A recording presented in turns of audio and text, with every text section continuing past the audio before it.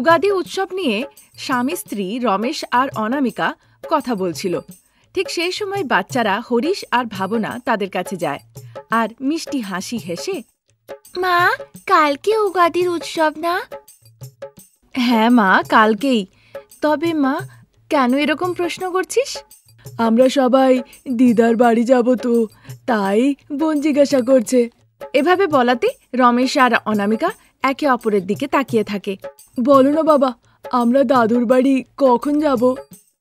এবছর আমাদেরকে দাদু দিদাতে নিজেদের বাড়ি ডাকেননি তাই আমরা যাচ্ছি না। আমরা নিজেদের বাড়িতেই উৎসব মানাবো। আমরা নিজেদের বাড়িতে থাকতে চাই না যে বাবা আমরা দাদু দিদার বাড়িতে গিয়ে তাদের সাথেই উৎসব মানাবো। হ্যাঁ বাবা দাদু দিদার বাড়িতে খুব আমাদের মজা হয়। মনে হয় যে আমরা এখানে এসে উৎসব মানাচ্ছি। নতুন নতুন সব লাগে খুব ভালো লাগে। কিন্তু যে বাবা এবছর তোমার দাদু দিদা আমাদেরকে ওখানে ডাকেনি। সেই কথাই তো আমি তোমার বাবার সাথে চর্চা করছিলাম।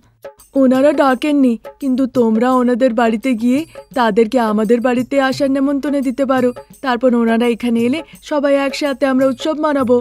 হ্যাঁ মা দাদা যেটা বলল ভালোই বলল। চলো না আমরা দাদু দিদার বাড়িতে যাই তাদেরকে গিয়ে নেমন্তন্ন করি আমাদের বাড়িতে আসার জন্য। তারপর সবাই মিলে আমরা এখানে আনন্দে উৎসব মানাবো। ঠিক আছে বাচ্চারা চলো আমরা যাব। আমি কিন্তু আগে থেকে একটা কথা বলে রাখলাম। তারা যদি আসতে চান তাহলে ওনাদের সাথে উৎসব মানাবো। আর যদি না আসেন তাহলে আমরা নিজেরাই মানাবো। তুমি যেমনটা বলবে বাবা আমরা তেমনটাই করব। আর ভাবো না তুই কি বলিস মা? দাদার কথাই আমার কথা। যদি দাদা হ্যাঁ বলে সেই কথায় আমিও রাজি। এ কথা বলে তারা বাড়ি থেকে বেরিয়েই আসে। দেখে বাড়ির বাইরে প্রসাদ দাঁড়িয়ে আছেন। তাকে দেখে বাচ্চারা ভীষণ আনন্দিত হয়। দাদু! তুমি কখন এলে দাদু? আর ঠাম্মা কোথায়? ঠাকুমা আসেনি মা আমি এসেছি।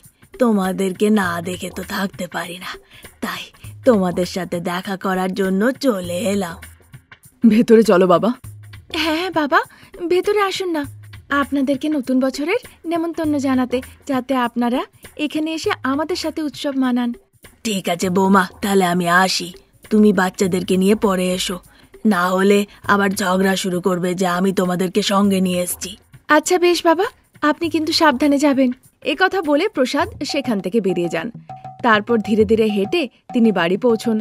প্রায় এক ঘণ্টা কেটে যায়। প্রসাদ বারবার দরজার দিকেই তাকিয়ে থাকে। ব্যাপারটা সারদা লক্ষ্য করে। কি হলো গো? বারবার দরজার দিকে তাকিয়ে আছো। কি ব্যাপার শুনি? কিছু নয় সারদা আমি তোমাকেই দেখছিলাম। আমি ভাবলাম যে তুমি বাইরে গেছো কিন্তু দেখছি তুমি তো বাড়িতেই আছো।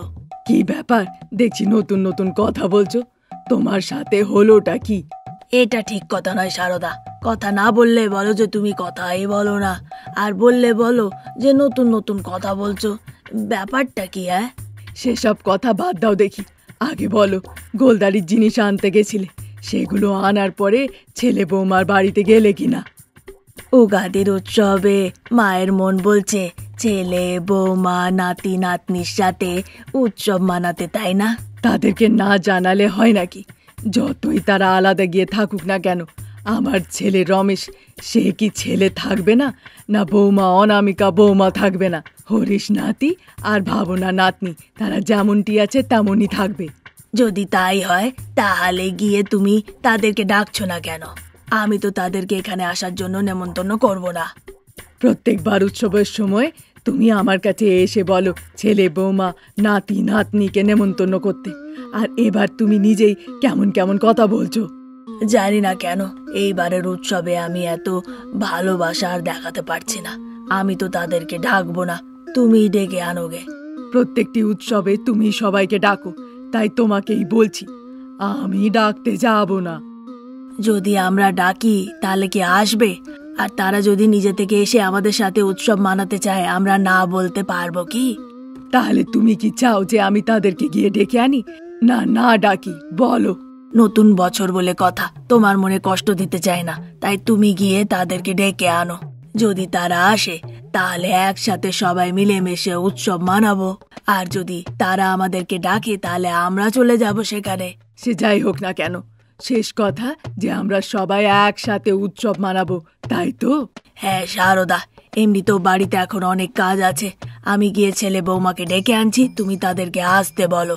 একথা হচ্ছিলই ততক্ষণে হরিশ আর ভাবনা ঘরের ভেতরে ঢোকে। ঠাম্মা দাদু। ঠাম্মা। বাচ্চাদেরকে দেখে সারদা আর প্রসাদ ভীষণ আনন্দিত হয়। তারা বেশ অনেকক্ষণ গল্পগুজব করে। মা বাবা এবছর নতুন বছরের উৎসব আমরা একসাথে মানাবো। যা কিছু আছে তা দিয়েই ভালো করে আনন্দে মানাবো। চলুন ও বাড়িতে চলুন। এ কথা বলে তারা ঘরে তালা দিয়ে তারপর সবাই একসাথে রমেশের বাড়িতে চলে যায়। সেই দিনটা শেষ হয়ে যায়। তারপর নতুন বছরের উৎসব আসে। যেহেতু উগাদির উৎসব ছিল, তাই শাশুড়ি বৌমা তাড়াতাড়ি করে ঘুম থেকে উঠে ঘরের বাইরে বেরিয়ে আসে।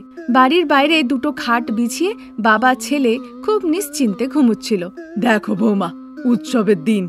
তাও বাবা, ছেলে কেমন নাক ডেকে ঘুমুচ্ছে। এই নয় যে সকাল সকাল ঘুম থেকে উঠে আম পল্লব এনে দরজায় টাঙাবে এনারা ঘুমুচ্ছেন। ঘুমোতে দেন মা।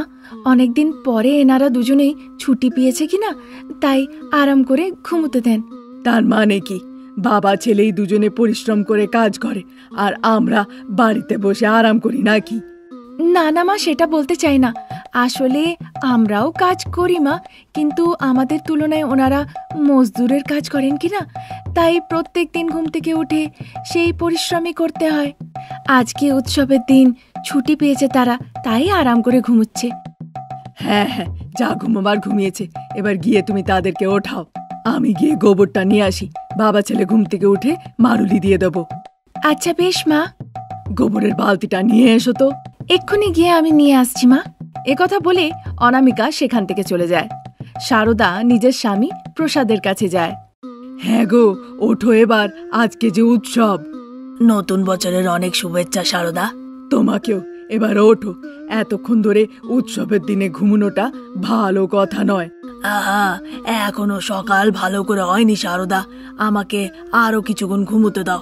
তুমি যাও তো গিয়ে নিজের কাজগুলো সারো। সে এ কথা বলছিলই ততক্ষণে অনামিকা গোবরের ঝুড়িটা এনে সারদাকে দেয়। মা এই নেন আপনার কথা মতো গোবরের ঝুড়ি। এবার এটাতে গোবর নিয়ে আসুন গে। আমি এদিকে বাড়ির সব কাজকর্ম দেখে নিচ্ছি। আগে তুমি বাবা ছেলেকে ঘুম থেকে তুলে আম পল্ল আনতে পাঠাও। যতক্ষণে আমি গোবর নিয়ে আসছি এদিকে তুমি সব ব্যবস্থা করে রাখো। আচ্ছা বেশ মা। এভাবে বলাতে সারদা তারপর গোবরের ঝুড়িটি নিয়ে সেখান থেকে চলে যায়। এভাবেই সময় কাটে। তারপর আম পল্লব দিয়ে গাঁদা ফুলের মালা দিয়ে সারা ঘরকে উৎসবের জন্য সাজানো হয়। সকলেই নতুন নতুন জামা কাপড় পরে। হ্যাঁ গো যে লিস্টটা দিয়েছিলাম বাজার থেকে সেগুলো নিয়ে এসেছ? নিয়ে এসেছি সারদা তুমি চিন্তা করো না তো। এভাবে বলাতে সারদা একটি পাত্র আম নিমের ফুলের ছিলকে গুড় তেঁতুল এই সব কিছু নিয়ে একটি জায়গাতে গিয়ে বসে। তারপর সেই সব জিনিস দিয়ে সে উগাদির একটা চাটনি বানায়। ঠাকুমা উগাদির চাটনিটা কিন্তু সব থেকে আগে আমি খাব। না ঠাম্মা সব থেকে আগে আমি খাব। নাহলে কিন্তু আমি কানতে লাগবো। নতুন বছরের দিনে আজকে কোনো বাচ্চা কাঁদবে না। আমি আগে আমি আগে বলে তোমরা কেন জিদ করছ? আমি সবাইকে সমানভাবে দেব। তারপর সবাই একসাথে আমরা সেটা খাব। একদম ঠিক বলেছ ঠাম্মা এমনটাই হবে। হ্যাঁ ঠাম্মা তোমার কথাটাই একদম ঠিক, তাই হবে। এভাবে বলাতে অনামিকা সবার জন্য গ্লাস নিয়ে এসে সারদার কাছে গিয়ে রেখে দেয়। সারদা সবার গ্লাসে চাটনি দিয়ে দেয়। সবাই নিজেদের গ্লাস উঠিয়ে নেয়। তারপর ভাবনা গুনতি শুরু করে আর সবাই একসাথে সেটা খায়। ঠাম্মা, এই উগাদির চাটনির ঝোলটা খুব ভালো হয়েছে। হ্যাঁ গো ঠাম্মা, খুব সুস্বাদু। আচ্ছা বেশ বাচ্চারা, এবার চলো আমরা মন্দিরে যাব। এখন মন্দিরে কেন যাবে ঠাম্মা? আজকে মন্দিরে পঞ্জিকা পড়া হবে আর আজকের দিনের বিশেষতা নিয়ে বলা হবে। চলো চলো তাড়াতাড়ি চলো। এভাবে বলাতে সবাই একসাথে মন্দিরে যায়। তারপর সেখানে পঞ্জিকা পড়া হয়। তারপর একসাথে তারা একটি জায়গায় বসে।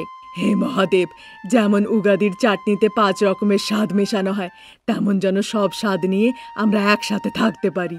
সারদা হাত জোড় করে প্রণাম করে। তারপর আবার পঞ্জিকা পড়া হয়। মন্দির প্রাঙ্গণে বসে তারা সকলে খুব আনন্দে সময় কাটায়। আর এভাবে সারদা আর অনামিকা পুরো পরিবারকে নিয়ে নতুন বছরের দিনটিতে খুব আনন্দ করে। অনামিকা টিভির সব দর্শকদেরকে নতুন বছরের অনেক অনেক শুভেচ্ছা। ঠিক বাড়ির সামনে শাশুড়ি বৌমা সারদা আর অনামিকা দাঁড়িয়েছিল হরিশ হাতে একটা কয়েন নিয়ে, ঠাকুমা, যদি হেড আসে তাহলে তুমি জিতে যাবে। তারপর আমরা জঙ্গলে গিয়ে হোলির ফুল নিয়ে আসব। মা বাড়িতেই থাকবে, বাড়ির সব কাজকর্ম করবে।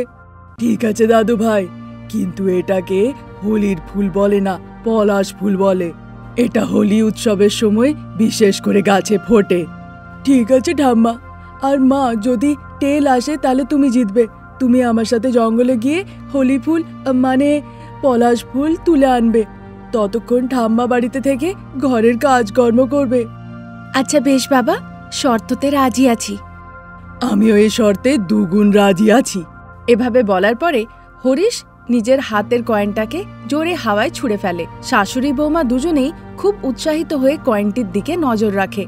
হাওয়ায় উড়ে কয়েনটি সোজা এসে হরিশের হাতে পড়ে। হরিশ নিজের মুঠি বন্ধ করে নেয়। শাশুড়ি শারদা বৌমা অনামিকা দুজনেই এবার ঘাবড়ে যায়। তারা খুব চিন্তিত অবস্থায় হরিশের হাতের দিকে তাকিয়ে থাকে। ও দাদা কতক্ষণ তুমি এভাবে নিজের হাতের মুঠি বন্ধ রাখবে? খোলো না আর সবাইকে বলো না যে হাতের মুঠির মধ্যে কি এসেছে।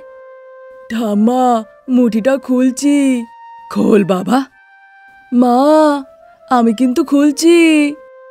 বলা হচ্ছে তো যে খোল এভাবে আমাদেরকে টেনশন দিস না তো। এবার আমি খুলছি সবাই এদিকে দেখো। এই বলতে বলতে সে হাতের মুঠিটা খোলে দেখে হেড। তা দেখে সারদা ভীষণ আনন্দিত হয়। অনামিকার মুখ ছোট হয়ে যায়। ঠাকুমা, তুমি জিতে গেছো। তোমার হেড এসেছে। এবার তুমি আমার সাথে জঙ্গলে গিয়ে পলাশ ফুল নিয়ে আসবে। আর মা বাড়িতে থেকে ঘরের সব কাজকর্ম করবে। এভাবে বলাতে হঠাৎ করে অনামিকা খুব জোরে জোরে হাসতে লাগে। সারদা রেগে মেগে তখন বলে, এভাবে কেন হাসছো? যাও যাও, সঙ্গে করে মা একটা মইও নিয়ে যাবেন। কারণ গাছের ফুল তো সে অনেক ওপরে। একথা শোনা মাত্রই সারদা ভীষণভাবে রেগে যায়। তারপর দাঁত কটমুটিয়ে সে বলে, বলতে কি চ? আমি বেটে, এবার তুমি দাঁড়াও তোমাকে আমি দেখাচ্ছি মজা। এভাবে সারদা মনে মনে খুব রাগারাগি করে। তা দেখে অনামিকা ভাবে, এবার তারও ঝোঁকা চলবে না। সেও তার ওপরে খুব রাগারাগি করে। এভাবে শাশুড়ি আর বৌমা একে অপরের ওপরে রাগারাগি করতে শুরু করে আর তা দেখে হরিশ আর ভাবনা খুব জোরে জোরে হাসতে লাগে। ঠিক সেই সময় প্রসাদ যে বাইরে গেছিলেন সে বাইরের থেকে বাড়ি ফিরে আসে। বাড়ি ফিরে সে দেখে শাশুড়ি বৌমার মধ্যে তুমুল ঝগড়া লেগেছে। তারা চুলের নড়ি ধরে টানাটানি করছে। তা দেখে সে ভীষণভাবে ঘাবড়ে যায়। শারদা ও বৌমা অনামিকা এইসব কি হচ্ছে? তোমরা একে অপরের সাথে এভাবে ঝগড়া কেন করছ? প্রসাদের এভাবে জিজ্ঞাসা করাতে হরিশ এসে তাকে পুরো ব্যাপারটা খুলে বলে। সেটা শোনার পরে প্রসাদ ভীষণভাবে রেগে যায় আর তাদের ওপরে রেগে মেগে বলে, এসব কি হচ্ছে? শাশুড়ি বৌমার খেয়ে দিয়ে কাজ নেই? এভাবে চিৎকার করে বলাতে শাশুড়ি বৌমা তখন ঝগড়া থামায়। একে অপরের মাথার চুল ধরেছিল সেটা ছাড়ে। তারপর দুজনেই ভয়ে ভয়ে প্রসাদের দিকে চেয়ে দেখে। কাউকে কোথাও যেতে হবে না। আমি শাশুড়ি বৌমা দুজনকেই একটা শর্ত দেব। যে আগে গিয়ে রং নিয়ে আসবে, তাকে আমি দশ হাজার টাকা দেব। তারপর সেই দশ হাজার টাকা দিয়ে তারা যা কিছু কিনতে চায় কিনতে পারে। প্রসাদের কথা শোনার পরে সারদা আর অনামিকা আনন্দিত হয়ে সেখান থেকে চলে যায়। তারা শুধু এটাই ভাবে যে দশ হাজার টাকা পাওয়ার পরে তারা কীভাবে খরচা করবে। তারপর রাত্রিবেলা নামে। বাচ্চারা হরিশ আর ভাবনা বিছানায় ঘুমিয়ে পড়েছিল। রমেশ দুঃখিত হয়ে বসেছিল। অনামিকা তার পাশেই দাঁড়িয়ে ছিল তার মুখের দিকে রমেশ চেয়ে থাকে। এভাবে আমার মুখের দিকে চেয়ে থাকো না। যেটা বলেছি সে ব্যাপারটা নিয়ে একটু ভাবো। অনামিকা এখন আমার চিন্তা করার মতন অবস্থা নেই। আমার খুব ঘুম পাচ্ছে। এখন যদি ঘুমিয়ে তাড়াতাড়ি ঘুম থেকে উঠি তাহলে সকালে মুড ফ্রেশ থাকবে। আর ভালো পরিকল্পনাও আসবে। তুমি যতক্ষণে সকালে ঘুম থেকে উঠে আমাকে পরিকল্পনা দেবে ততক্ষণে শাশুড়ি মা আমার উপরে রং না ঢেলে কি বসে থাকবেন? আমি মাকে কিছুক্ষণ ধৈর্য রাখতে বলব অনামিকা। এই কাজটা করতেও যেও না। না হলে শাশুড়ি মা সারা গ্রামে গিয়ে কথাটা আগুনের মতন ছড়িয়ে দেবেন। যা বাবা শর্ত দিয়েছেন সেই শর্ত অনুযায়ী আমাকে দশ হাজার টাকা জিততে হবে। তাহলে বেশি চিন্তা না করে আমাকে ভালো করে ঘুমোতে দাও। আমি তোমার এই কথাটা একদম মানব না। তোমাকে ভাবতেই হবে আমাকে একটা পরিকল্পনা দিতেই হবে। কোনোভাবে শাশুড়ি মার নজর থেকে লুকুতে হবে আর বাবার দশ হাজার টাকা আমাকে জিততেই হবে। অনু যদি তোমার দশ হাজার টাকা চাই তাহলে আমি দেব। তোমার যা ইচ্ছে কিনতে পারো। কিন্তু অযথা এভাবে তুমি আমাকে চিন্তা ভাবনা করতে বলো না তো। এমনিতেও তোমাকে হোলির উৎসবের জন্য দশ হাজার টাকা দিতেই হবে। যদি তুমি আমাকে এখন ঘুমোতে দাও তাহলে দেব। না হলে দেব না। এভাবে বলাতে অনামিকা রেগে মেগে রমেশকে বলে যাও ঘুমো। যেভাবেই হোক না কেন আমি বাবার থেকে দশ হাজার টাকা জিতেই ছাড়বো। অনামিকার এ কথাটা বলা মাত্রই রমেশ আর দেরি না করে বাচ্চাদের সাথে বিছানার ওপরে ঘুমিয়ে পড়ে। তারপর অনামিকা চিন্তা করতে শুরু করে। ওদিকে অন্য ঘরে শাশুড়ি মা শারদারও ঘুম আসে না। সে নিজের ঘরের মধ্যেই পায়চারি করতে লাগে। কালকে হোলির উৎসব। শরীরে কোনো রকমের রং না লাগতে দিয়ে যেভাবেই হোক আমাকে দশ হাজার টাকা জিততে হবে। সেই দশ হাজার টাকা দিয়ে নিজের পছন্দের আমি জিনিস কিনবো। কিন্তু এই দশ হাজার টাকা আমি জিতবো কি করে? শর্ত এটাই যেন বৌমা আমাকে দেখতে না পায় গায়ের উপরে রং না ফেলতে পারে।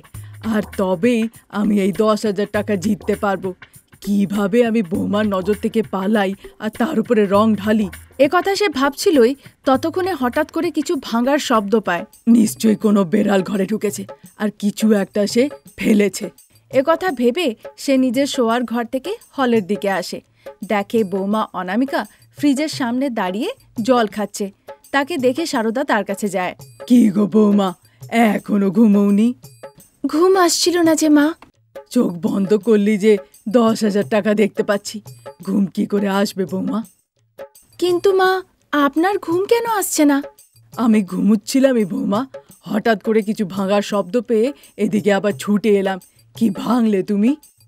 আমিও কিছু ভাঙার শব্দ পাই কিন্তু আমি কিছুই ভাঙিনি। আমি তো শুয়েছিলাম। আমিও শব্দ শুনতে পেয়ে ভাবলাম কিছু ভাঙলো। তাই তো দেখার জন্য আমি ছুটে এলাম। এখানে এসে দেখলাম কিছুই ভাঙেনি। তাই ভাবলাম আবার শুতে যাওয়ার আগে আমি একটু জল খেয়ে যাই। শাশুড়ি মাকে কথা বলে অনামিকা জল খেতে লাগে। বৌমা তোমার বাবার কথা মতো আমরা দুজনে কি সহমতি দেখাতে পারি?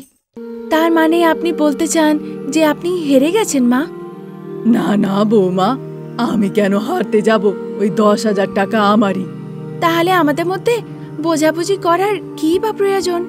তোমার জন্য বৌমা যেভাবেই হোক তুমি শর্ত তো হেরেই যাবে। উৎসবের দিনে আবার মন খারাপ কেন? থ্যাংক ইউ সো মাচ মা। অন্তত বৌমার কথা ভেবেছেন। কালকে হোলি তো কালকে আমি আপনাকে বলব হোলি কাকে বলে? রেডি থাকবেন কিন্তু? এই বলে অনামিকা সেখান থেকে নিজের বেডরুমে চলে যায়। সেই রাতটি কেটে যায়। পরের দিন হোলির উৎসব, বাড়ির বাইরে প্রসাদ, রমেশ, হরিশ, ভাবনা সকলেই হোলি খেলছিল। কিন্তু শাশুড়ি বৌমা শারদা আর অনামিকাকে কোথাও খুঁজে পাওয়া যাচ্ছিল না।